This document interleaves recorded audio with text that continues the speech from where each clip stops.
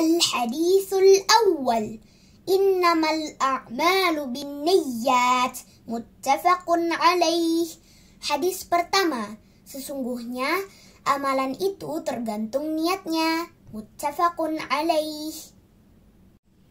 Al-hadithul awal. Innamal a'malu bin niyyat. Muttafaqun alaih. Hadis pertama, sesungguhnya amalan itu tergantung niatnya. Muttafaqun alaih. Al-hadithul awal.